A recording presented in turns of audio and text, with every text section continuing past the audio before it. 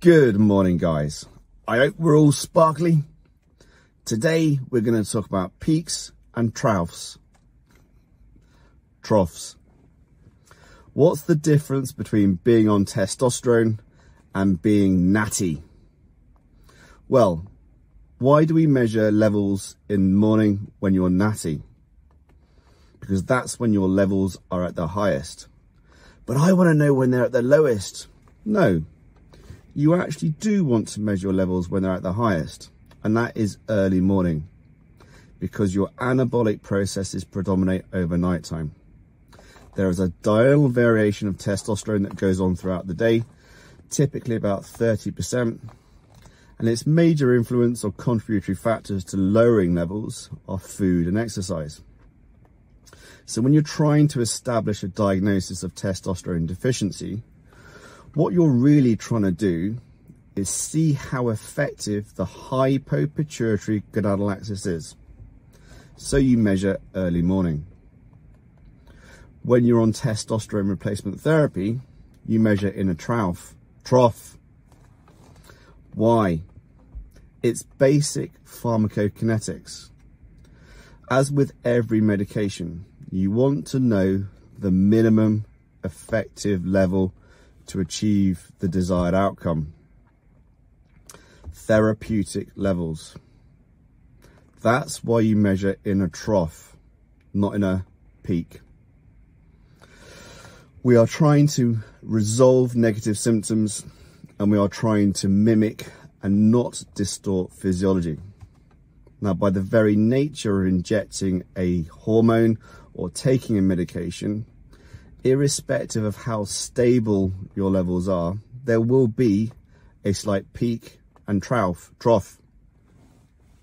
So, we subscribe to daily microdosing of testosterone, cypionate, and HCG because you can achieve stable levels with this protocol in 99.9% .9 of people. The people that don't get stable on this tend to have incredibly low SHBG. So we have had success from weekly microdosing of testosterone undecanoate, which has a longer carbon chain. So it's metabolized slower. Peaks and troughs. Toxicity. Let's clear that up because that's garbage.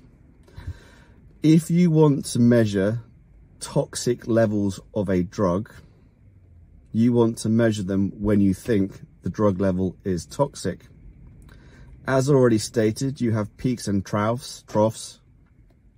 So, if you want to see how high the drug level is going, which can cause negative symptoms, you want to measure serial drug levels, which is why, obviously, you measure serial drug levels. So toxicity in testosterone replacement therapy, is it possible? It's not really toxic, is it? But you can have super physiological levels.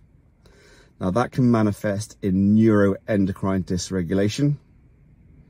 You can have symptoms of narcissistic personality disorder. Oh, you can have a rise in hematocrit as a result of excess erythropoiesis.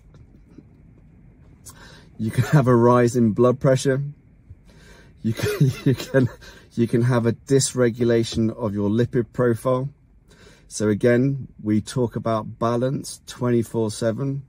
So we have HDL that takes cholesterol away from the cells and LDL that takes cholesterol to the cells. Now you need both.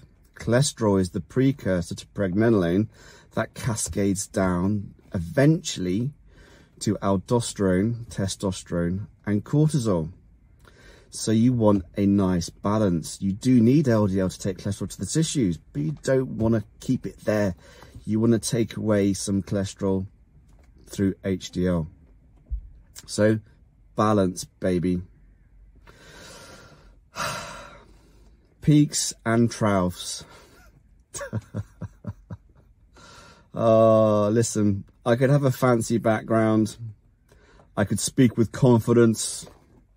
and assure you through confidence that my opinion is fact. But let's just have some common sense and speak proper English.